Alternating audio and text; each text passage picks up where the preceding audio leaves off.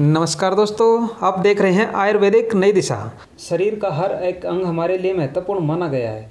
जैसे कि हम आँखों के सहारे देख पाते हैं, कानों की मदद से सुन पाते हैं, ठीक उसी तरह। मुँह की मदद से हम सब कुछ खा पी सकते हैं। और बात अगर खाने पीने की हो तो हमें दांतों को कैसे भूल सकते हैं?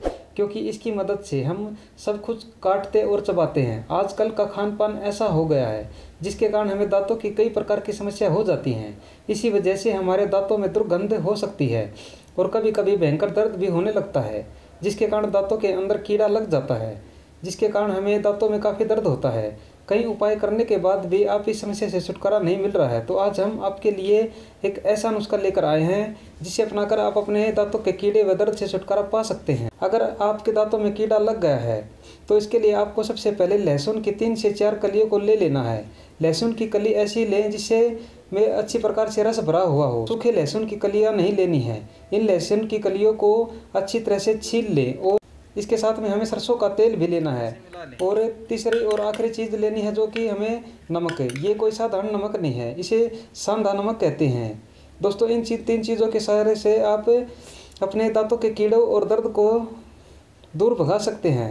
अब आपको लहसुन की कलियों को बारीक काट लेना है और काटने के बाद आपको इसे सांधा नमक डाल ले और मिला लेना है। सांधा नमक आपने दो से तीन चुटकी मिला लेना है। अच्छी तरह से मिलाने के बाद बाद आपको दांतों में जहाँ भी दर्द है, इसे वहाँ पर अच्छी तरह से रख लीजिए और मुँह को बंद रखिए। मुँह को अपने तीन से चार मिनट तक बंद रखने के बाद जो लार उत्पन्न होगी, उसे नीचे थूक देना है।